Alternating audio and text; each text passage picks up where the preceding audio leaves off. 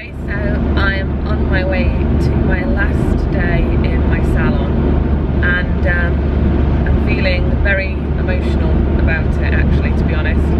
And I'm not really a person that gets really like teary or cryy or anything like that but I've found these last two days in work have been really really difficult.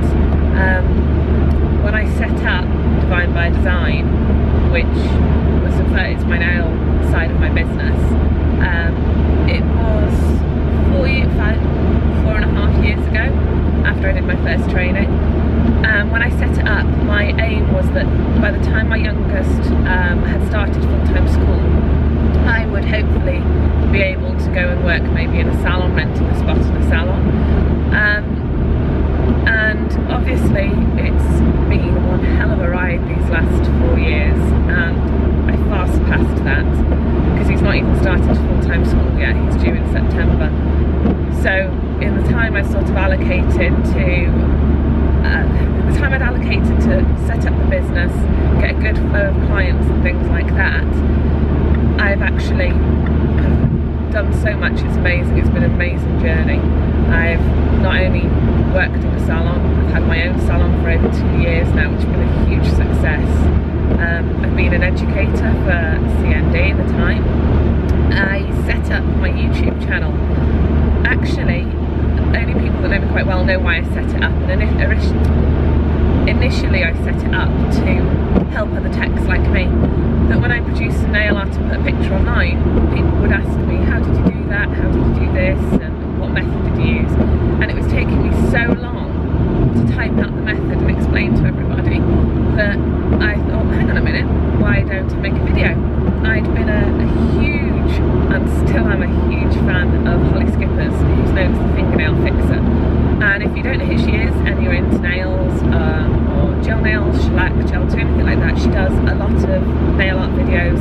Just type in fingernail fixer into YouTube and you'll find her.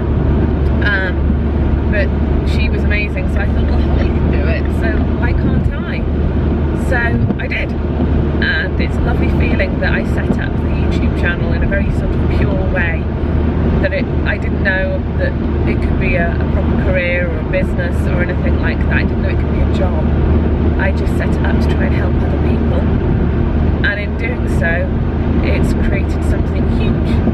And now I'm in a position that I have had to sell my salon because the YouTube side of things has got so big I can't dedicate the time to it that I need to and have the three kids and a home life and see my husband ever so it's now happened that the salon is sold and it's going to an absolutely amazing, amazing lady. I couldn't have found someone better. Alison Lee, her name is.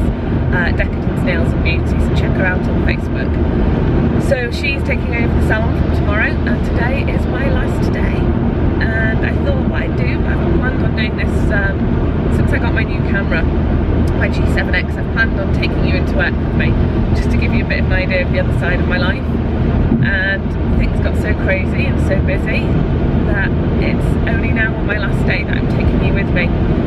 So hopefully you're going to meet a few of my friends and have a look around the salon before I give it up and this will be something for me as well for posterity that I can look back on and, and remember this stage of my life. So I'm getting really excited. I'm getting dead emotional now and I said I wouldn't do this but it's okay because I'm wearing waterproof mascara so we're all good. Get a grip now.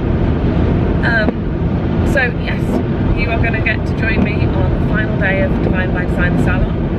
I have sold the but I'm keeping the name Divine by Design because obviously my channel name, although it's Natasha Lee, started as Divine by Design Beauty. And you never know in the future when I might go back to that. It might come a time when, you know, the kids are grown up. I fancy doing clients again. That sounds really dodgy. You know what I mean. So, yes, I will show you my salon very shortly. Excuse all the mess behind me. I have my steam cleaner, my big hoover, the kids' scooters and everything in the back of the car.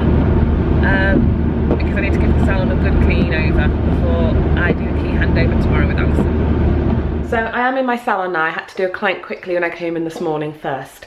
Um, but I'm going to take you next door to meet Chris before I give you a tour of the salon because I've got a little bit of a break now um, and you can come and meet Crazy Chris, my good friend from the post office next door.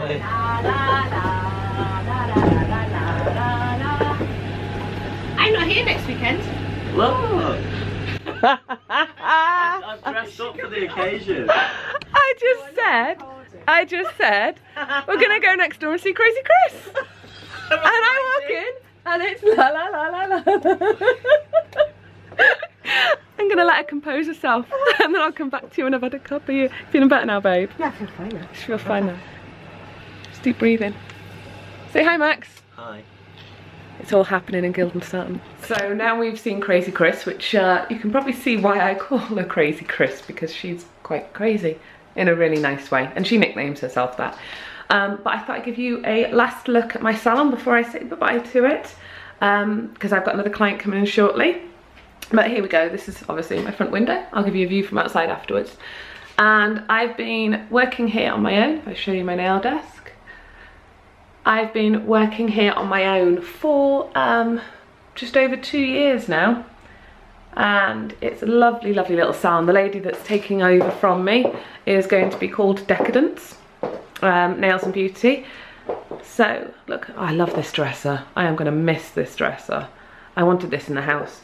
I've got my awards cupboard with a few awards up there.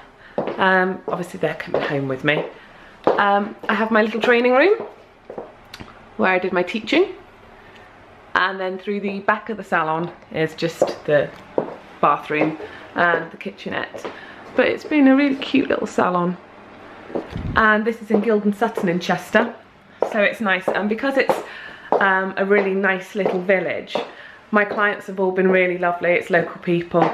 And you end up getting a really good relationship. Like with Chris next door, we have um, a really good laugh. And if ever I had like a no-show or a cancellation or a little gap or anything, I'd nip next door to the post office and have a cup of coffee and serve people behind the till, which can really mess with people's heads when they see me in there instead of in here. But um, yes, this is my gorgeous salon. And I'll be saying goodbye to it today. Um, and I have got a bit of a glitter addiction. Just to show you there. Um, and I will be taking all my 170 gel 2s home with me, or thereabouts, because I will, after today, I will be a full-time YouTuber and blogger, which feels a very, very strange experience. Um, at my age to be saying that. So one day I'm going to be uploading uh, videos of nail art, another I'll be doing hair or beauty, and hopefully I'll be able to slip some in with some gel too for the professionals out there that have helped me set up my YouTube from the beginning and were my original followers. Um, so that'll be really nice to be able to try and give something back to them.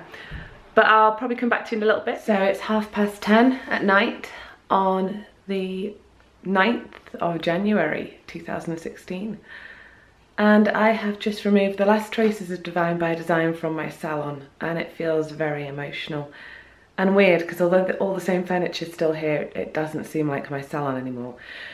Which is good because we don't want it to because it's going to belong to Alison from Decadence now and I know she's going to do amazing things with it. But just to show you one last time. Here we go. Some of the products I've left for her all my awards have gone, my certificates have gone. It's all empty. So, thank you everyone so far for joining me on this part of the ride. I wouldn't be able to be doing this if it weren't for all of you that watch me on YouTube, all of you that follow me. I just want to say thank you to all of you out there who are my um, amazing followers and watchers and subscribers. I couldn't do this if it weren't for all of you. The reason I'm giving up the salon is because YouTube has become so big and so great that I need to give far more time to it than I am. So on to the next part of the journey. Thank you very much. It's been amazing so far and I can't wait to share the rest of my journey with you. Thank you.